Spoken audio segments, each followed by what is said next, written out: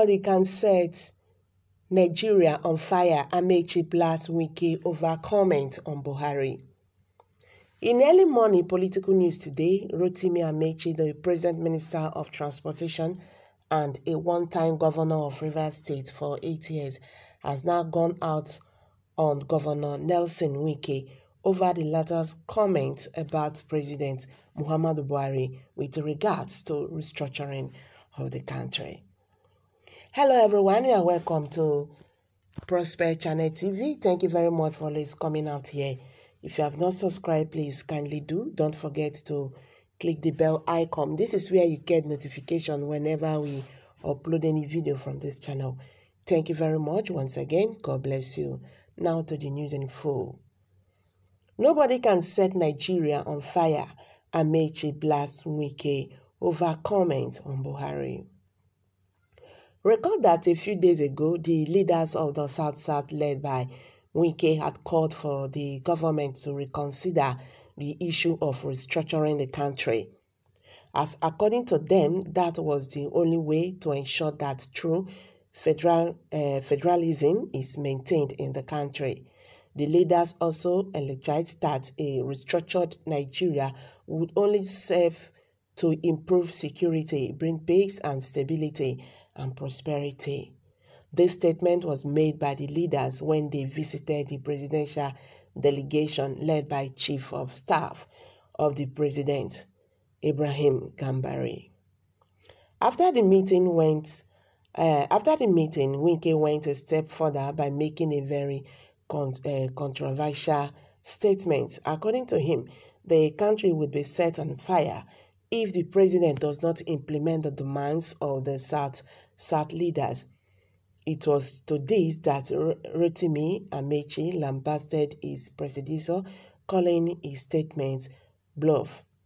The minister further blasted his River State countryman for saying that President Muhammadu Buhari would set the nation on fire if his demands are not implemented. According to Amaechi, who governed Rivers State from 2007 to 2015 before he was succeeded by Wike, he said such a statement is one that is not expected to come out from the mouth of a sitting governor of the nation.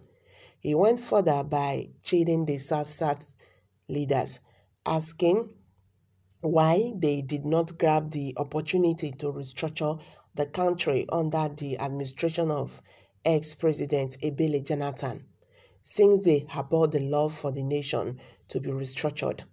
He made this statement in an interview with Channels television correspondent last night. According to Amaechi, don't be in a hurry to forget that ex-president Jonathan was a South-South man when he contested for president.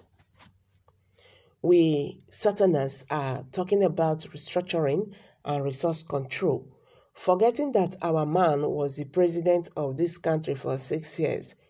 During that period, the resource that the resources that are being talked about now, we are we are neither handed over to the South South, neither was restructuring implemented it is much thicker than at is on the surface.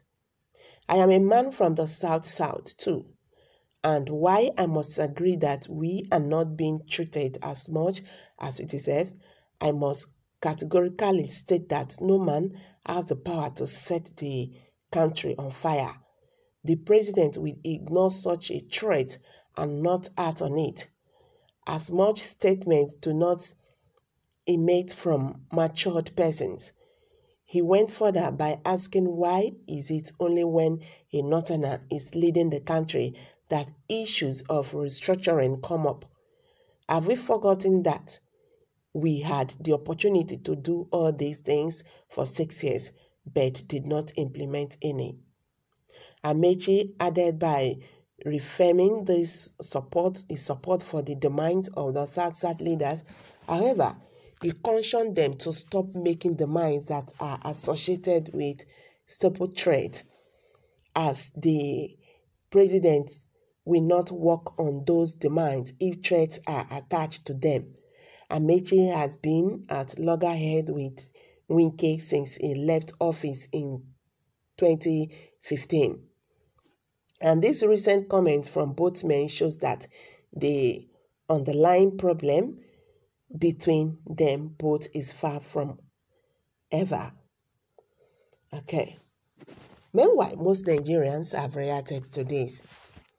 Okay, the first person I have here said, Wike is a governor of River State and one of one of the leaders of South South clamoring for restructuring Nigeria.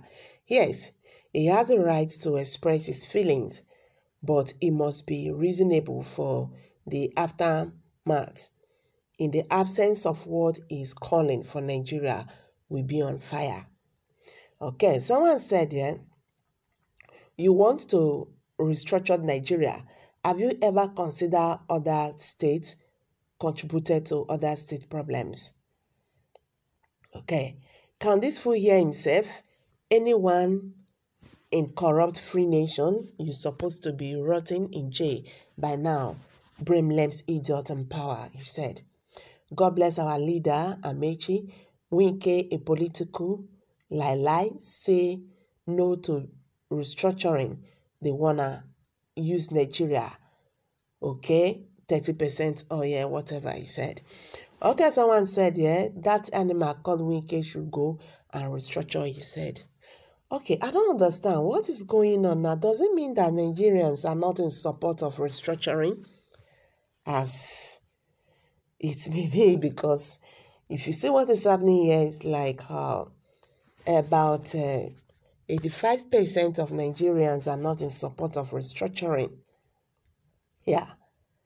So, hello guys, I'm going to drop it here for now. What's your opinion about this latest happening between two men that are believed to be the most powerful men in River State and two of the most powerful men of uh? Do you think Wike is wrong to made to have made the domain with threats attached to it? How do you think the president should react to this? Please tell us below and don't forget to like, share, and follow us for more updates.